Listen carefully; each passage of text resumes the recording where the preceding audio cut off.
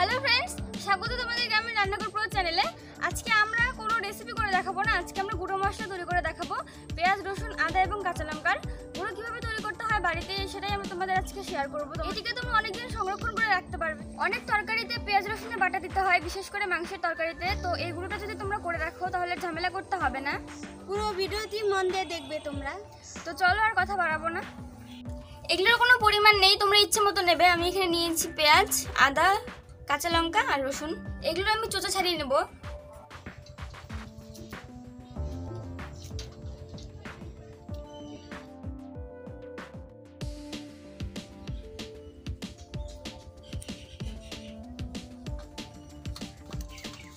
চোচাগুলো ভালো করে ফেলে দিতে হবে। পেছনের যে শক্ত অংশটা, এটাও ফেলে দিতে হবে। এটি শক্ত অংশটা আমি কেটে ফেলে দিচ্ছি। তোমরাও ফেলে দেবে। এখন আমি চোচাগুলো ছাড়াই নেব।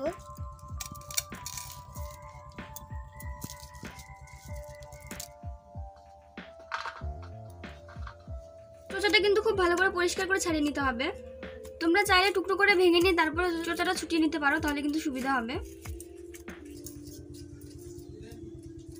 আদাগুলো থেকে আমি চোচা ছাড়িয়ে নিয়েছি। লঙ্কা আমি চার ভাগ করে কেটে নেব।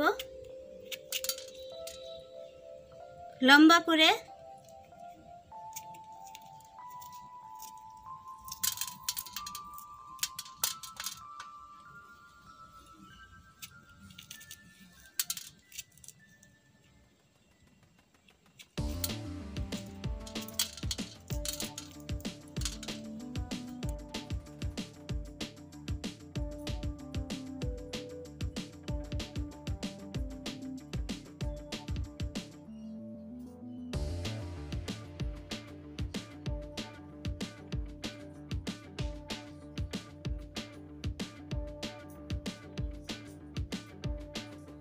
পেঁয়াজের চোষাটা আমি ছাড়ে নেব এবং পেঁয়াজের পিছনে যে শক্ত অংশটা থাকে ওটা দিচ্ছি।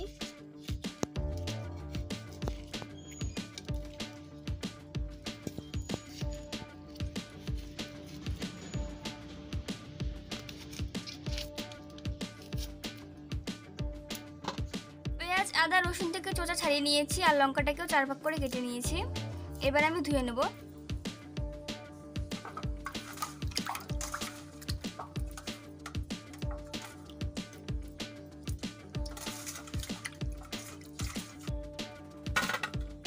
সবকিছু আমি ভালো করে কষলে কষলে ধুয়ে নেব।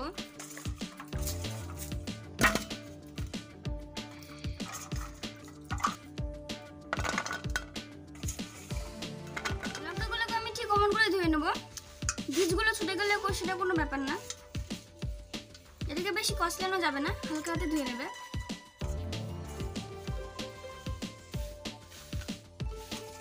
এবার আমি গ্রেটার দিয়ে আদাটাকে কুচি করে নেব। এটা তোমরা বটি বা চাকু দিয়েও করতে পারো কিন্তু গ্রেটার দিয়ে করলে বেশি ভালো হয়। ভালো করে কুচি হবে একদম পুরোটা। আমি আদাটাকে কুচি করে কেটে নিয়েছি। ঠিক অমন করে আমি পেঁয়াজটাকেও কুচি করে নেব। কুচি করা হয়ে গেছে। তোমরা কিন্তু বটি বা চাকু দিয়েও এটা করতে পারো কিন্তু সেক্ষেত্রে কিন্তু কুচিটা কিন্তু ভালো করে হয় না একটু মোটা মোটা থেকে যায়। আর এটা দিয়ে করলে কিন্তু কুচিটা ভালো। রসুনটাকে আমি একদম কুচি করে কেটে নেব।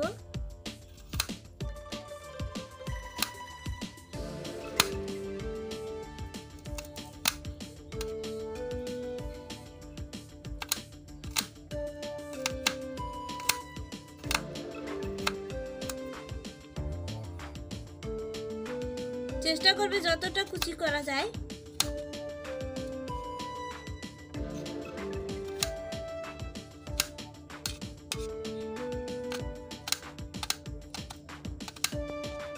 কুচি করে কাটা হয়ে গেছে। লঙ্কাটা দেখতে পাচ্ছ? একটু কালচে টাইপের এটা আমাদের বাড়ির গাছের লঙ্কা। আর গাছটাও কিন্তু কালো লঙ্কাটাও কালো। আমার মনে হচ্ছে এটা গুঁড়োটাও হয়তো কালো হতে পারে। দেখা যাক কি হয়। আমি গাছটা তোমাদের দেখিয়ে দেবো। কড়া রোদে একদম পাতলা করে শুকোতে দেবো। একটার উপর আরেকটা যাতে লেগে না থাকে।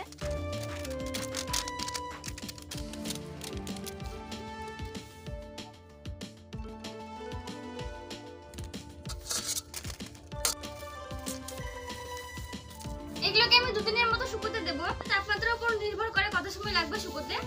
আজকে কিন্তু প্রচুর রোদ্র উঠেছে। হয়তো দুদিনের মধ্যে শুকিয়ে যেতে পারে।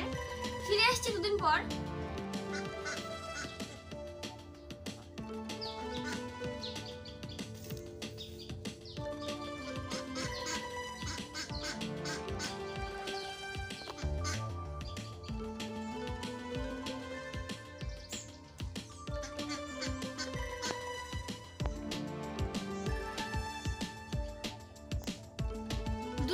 ফিরে এলাম। দেখো, লঙ্কাগুলো একদম শুকিয়ে গেছে। আদাটাও শুকিয়ে গেছে, পেঁয়াজ, রসুন সব কিছু কিন্তু শুকিয়ে গেছে। কিন্তু শুকোনোর পরে দেখতে পাচ্ছি এগুলো একদম অল্প হয়ে গেছে। তো সেই জন্য আমি পেঁয়াজ, আদা, রসুন আরও কেটে নিয়েছি, কুচি করে কেটে নিয়েছি। এগুলোকে আমি এদের পাশে শুকোতে দিয়ে দিচ্ছি। ওকে, আমি ঠিক আগের মতনই ভালো করে বিছিয়ে দেবো। আবারও দুদিন ওয়েট করব এগুলো শুকানোর জন্য। এটা শুকিয়েছে কিনা বোঝার জন্য এভাবে করে নিয়ে নেবে। দেখো। মচমচা হয়ে গেছে কিন্তু একদম। ভেঙে দেখে নেবে। আবারও আমি দুদিন পর ফিরে আসব। ফিরে এসে আমি সকলকে গুঁড়ো করে নেব।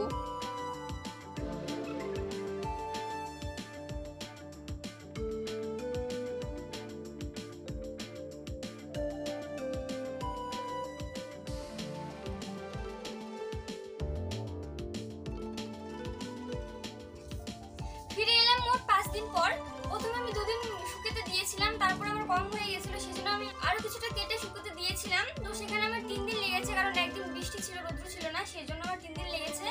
আর রৌদ্র না থাকার কারণে এগুলো কালো কালো হয়ে গেছে সেটা কোনো টেনশন নেই, তো দেখে নিচ্ছি এটা কেমন শুকিয়েছে। দেখো, এটা কিন্তু একদম মচমচে আছে। তোমরা কি করবে, এটা সকালবেলা শুকোতে দেবে। আর যখন দেখবে রোদটা হালকা হালকা রৌদ্র আছে, ঠিক তখনই তোমরা এটাকে গুঁড়ো করে নেবে, তাহলে এটা মচমচে থাকবে।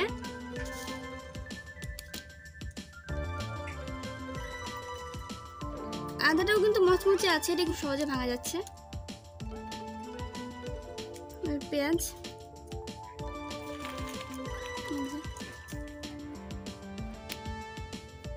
একদম মচমচে হয়ে গেছে সবগুলো। দেখি এগুলোকে আমি এখন পাটায় গুঁড়ো করে নেব। প্রথমে আমি আদা গুঁড়ো করছি।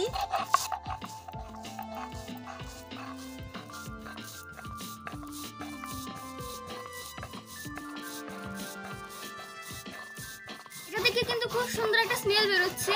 এটা কিন্তু বলে বোঝাতে পারব না। তোমরা তোমরা বানালেই ঠিক বুঝতে পারবে, খুব সুন্দর একটা স্মেল বেরোচ্ছে।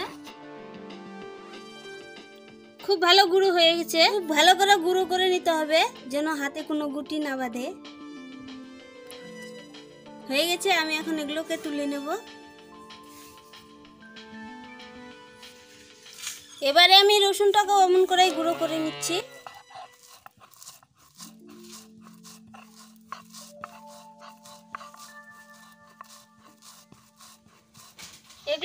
খুব- খুব সহজে গুঁড়ো করা যাচ্ছে, কোনো পরিশ্রম করতে হচ্ছে না। রসুনটা গুঁড়ো করা হয়ে গেল। এবারে আমি পেঁয়াজটাকে ঠিক অমন করেই গুঁড়ো করে নেব।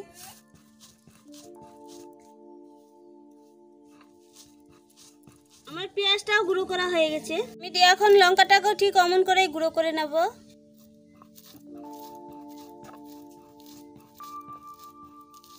আমার লঙ্কাটা গুঁড়ো করা হয়ে গেছে। ফ্রেন্ডস আমাদের কিন্তু সবগুলো গুঁড়ো করা হয়ে গেছে। আর এটা চেনার সুবিধার্থে আমরা গুঁড়োর পাশে গোটা গোটা রেখেছি। যেমন পেঁয়াজের গুঁড়োর পাশে পেঁয়াজ রেখেছি, লঙ্কার গুঁড়োর পাশে লঙ্কা, রসুনের গুঁড়োর পাশে রসুন, আর আদার গুঁড়োর পাশে আদা।